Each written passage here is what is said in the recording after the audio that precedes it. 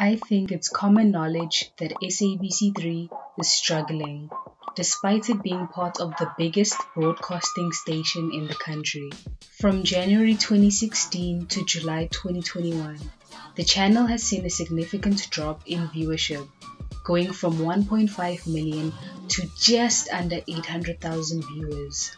That's a drop of nearly half of its audience. To understand what went wrong, we first need to figure out how we got here. On the 4th of February 1996, the South African Broadcasting Corporation was separated into three channels. Each one of these were meant to represent numerous language groups, with SABC3 targeting an English speaking audience. Most of the programs aired were from the United States and the United Kingdom. From the very beginning, SABC3 was always the least watched channel out of the three. Nevertheless, over the years, it was able to regularly pull in millions of viewers for some of their movies and programs. With shows like The Oprah Winfrey Show, Isidingo,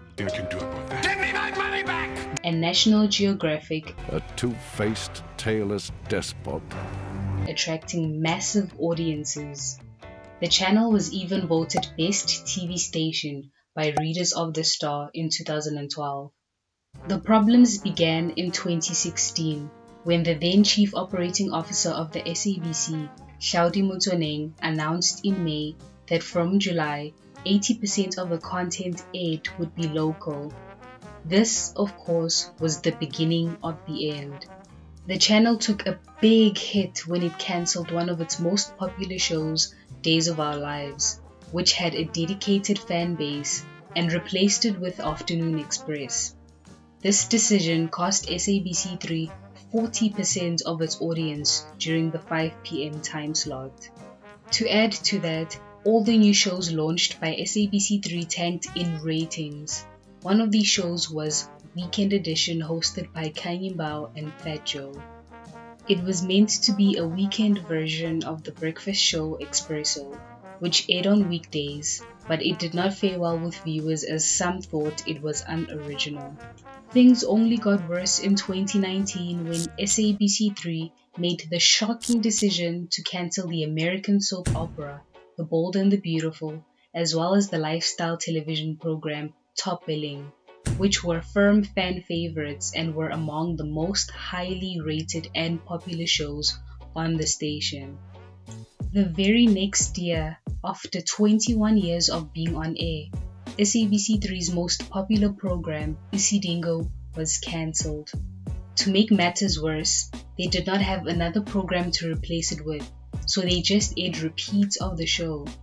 That was the final nail in the coffin. SABC General Manager David Makubyane said, Poor audience ratings during the time slot, decline in revenue, and poor return on investment was the reason for the cancellations. In my opinion, the reasons for SABC3's loss in ratings is not necessarily because of the 80% local content quota, as the idea could have been a great opportunity for local producers filmmakers, companies, new ideas, and creative thinking. The problem is how it was implemented.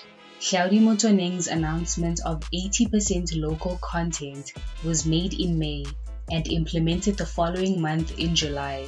Clearly, this did not give producers enough time to come up with complex, unique, and engaging ideas, leading to many viewers calling the new shows boring and uninspired. What SABC3 should have done was integrate their new shows with their already popular programs and started with a 50% local content quota and then moved it to 55%, then 60%, then 65 while testing which shows were being well received and which ones were not.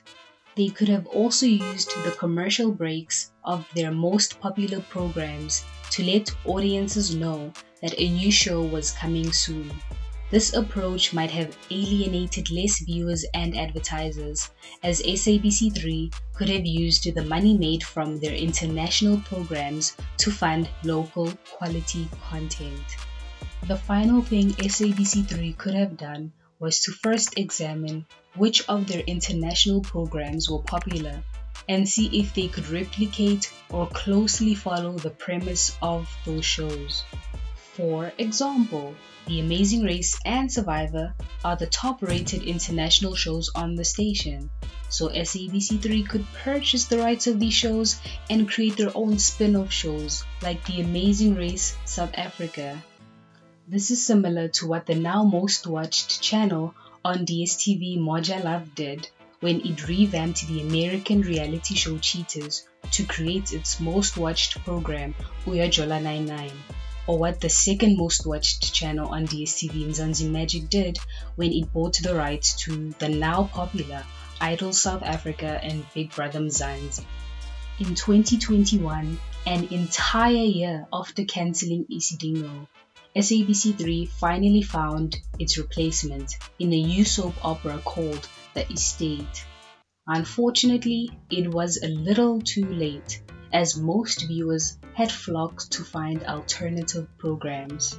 According to the 2017 SABC annual report, 76% of the company's revenue comes from advertising and 5% comes from sponsorships. Because of the low number of viewers, SABC3 has been getting less money from sponsors and advertisers.